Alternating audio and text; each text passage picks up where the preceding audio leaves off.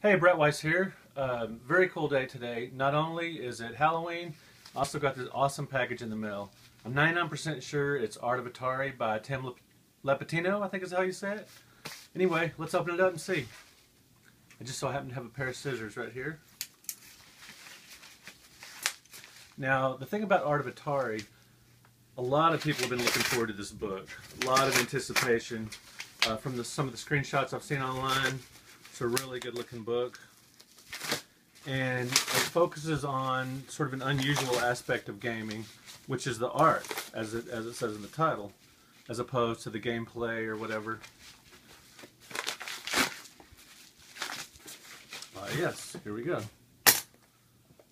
Art of Atari by Tim, hopefully I'm saying the name right, Lapetino. Forward by Ernest Cline, and obviously author of Ready Player One and Armada. Afterward by Robert Conte. And just a gorgeous, thick hardcover book. And I've actually seen this book in comic book stores. It's published by Dynamite, who also publishes a lot of comic books. Let's just take a look inside. Lots of screenshots here.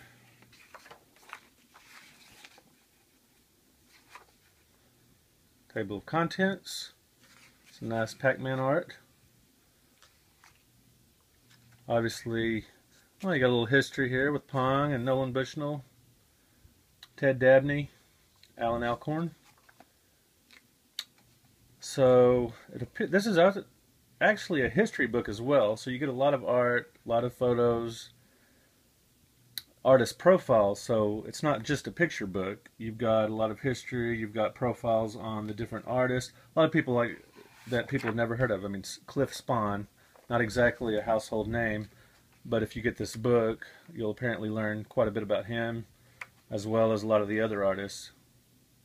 And the thing about Atari 2600 games, the graphics were very simple, just pixelated, you know, stick figures, squares, things like that. But uh, the covers always look great, and course, when you play the game, you might be a little disappointed that you're not getting what, at least back in the day, you might be disappointed that you're not getting on the screen what you got in the box. But nevertheless, the box art is awesome on a lot of these games. Superman, one of my favorite uh, boxes, being a big comic book fan. And let's keep looking through. Even games like like golf. I'm not really a, much of a golf fan, but I do like golf video games and. Uh, that art looks really cool. Dodge 'em, very underrated game. Kind of odd art on that. The old school cars, when it's actually just kind of a race, like top-down maze racer. Anyway, go through here. Obviously, lavishly produced. Very beautiful book. And uh, First Lady of Gaming was Pac-Man. Inner office memos. So yeah, you do have a lot of history in here. Artist profile, Mark Erickson.